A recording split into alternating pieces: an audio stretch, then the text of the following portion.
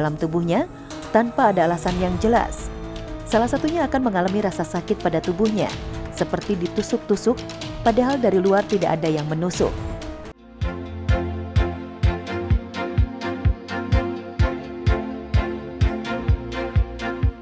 Mbah Dukun sedang ngobatin pasiennya. Santet terkuat dan paling berbahaya di Indonesia. Di zaman modern saat ini masih saja ada yang mempercayai praktek ilmu hitam, membunuh tanpa menyentuh, seperti pesugihan, santet, sihir, susuk, dan sebagainya. Santet sangat banyak macamnya, dari yang efeknya ringan sampai yang efeknya fatal bagi korban. Berikut ini santet yang disebut-sebut paling bahaya yang ada di Indonesia.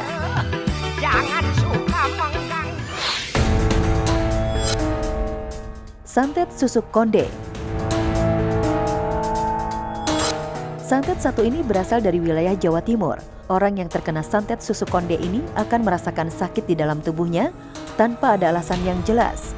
Salah satunya akan mengalami rasa sakit pada tubuhnya, seperti ditusuk-tusuk, padahal dari luar tidak ada yang menusuk. Terkadang banyak korban diperiksakan ke dokter dengan sinar ronsen dan akan ada beberapa barang yang janggal seperti paku, tang, atau jarum yang ada di tubuh korban.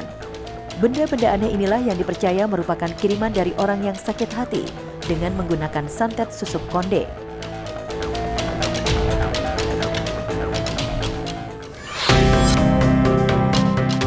Santet Lowo Ireng masih dari wilayah Jawa Timur, yaitu Banyuwangi. Satu santet lain yang bahkan jauh lebih seram, yaitu santet Lowo Ireng. Santet yang termasuk santet yang ganas karena akan membuat korbannya mengalami kecelakaan. Karena kemampuannya yang dapat mendatangkan musibah secara tiba-tiba, jenis santet yang satu ini tergolong sangat sulit ditangkal. Konon hanya orang kuat yang mampu terhindar dari serangan santet Lowo Ireng.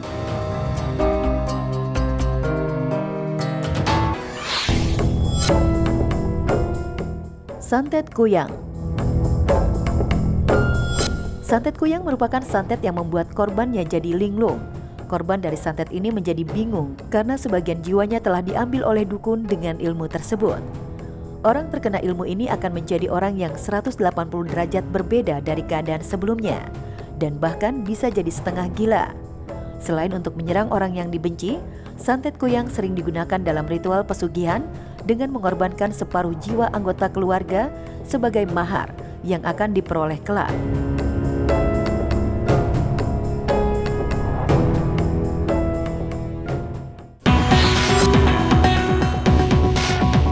Santet Pelesit Matimang Suku Dayak Kalimantan memang sudah sejak dahulu terkenal dengan ilmu mistis turunan nenek moyang mereka yang terkenal sangat ampuh. Salah satu ilmu hitam yang dimiliki suku Dayak di antaranya adalah santet pelesit Matimang. Sebuah ilmu tua yang bisa membuat targetnya mengalami gangguan jiwa secara mendadak alias jadi gila. Hebatnya lagi, ilmu santet ini bisa dikirimkan ke mana saja, bahkan hingga keluar pulau. Boleh percaya, boleh tidak. Tujuan gue biar lo semua yang punya item stop. Semua itu cuma jebakan setan. Oke. Yang abadi itu yang punya Tuhan.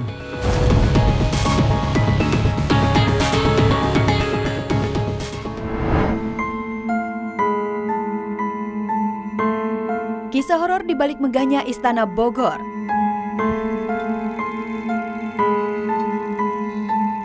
Mengungkap sisi misteri Istana Bogor.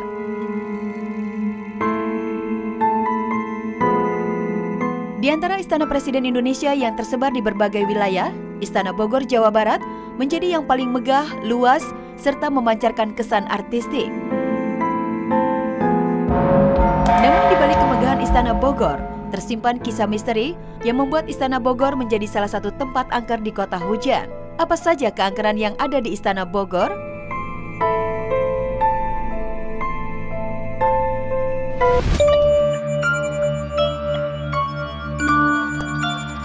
Penampakan hantu noni Belanda sering di halaman istana.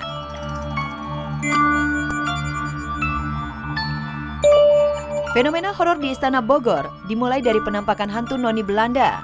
Dengan busana khas perempuan Belanda zaman dulu, noni Belanda kerap berkeliaran sambil membawa payung di halaman dan di atas permukaan kolam istana. Ini istana nih. Di jembatan yang kayu situ terus untuk sosoknya sendiri dia tuh pegang payung Mm-mm. ya tangku Payung, payung kayak ada renda-rendanya gitu. Terus eh, kayak roknya juga agak gede kayak balon, agak ngebalon gitu. Kayak, kayak, kayak bangsawan sih. iya benar dari kalau dilihat dari bentuk pakaiannya sih ini pasti bangsawan Saat di atas air kolam, hantu noni Belanda itu terkadang bersenandung.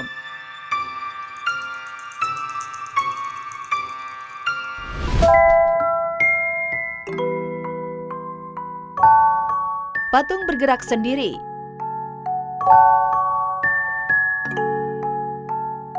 Di Istana Bogor terdapat 360 patung buatan seniman dari dalam dan luar negeri yang tersebar di dalam dan halaman istana. Dari berbagai cerita yang beredar, sejumlah patung dapat bergerak sendiri. Banyak yang percaya patung-patung itu bergerak sendiri karena adanya kekuatan makhluk gaib.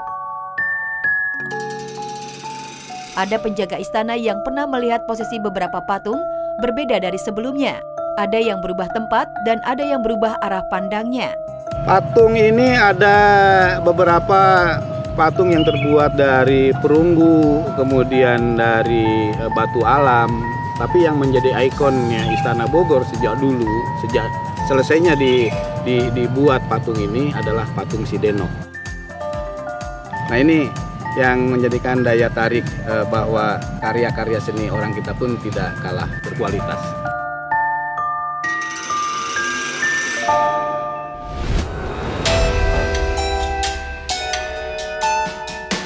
Kamar Soekarno yang misterius.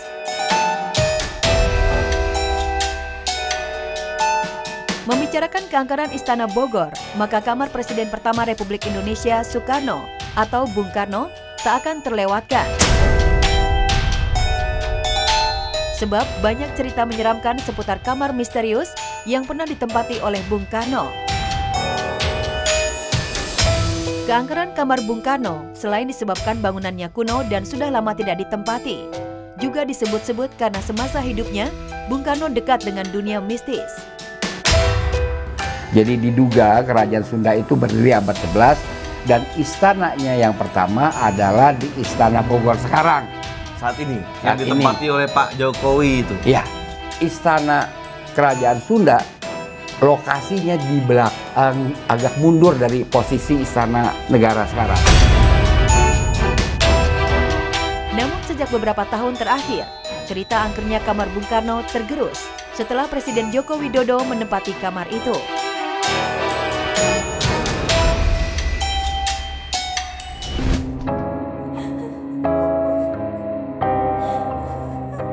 Jeritan dan tangisan dari ruang bawah tanah.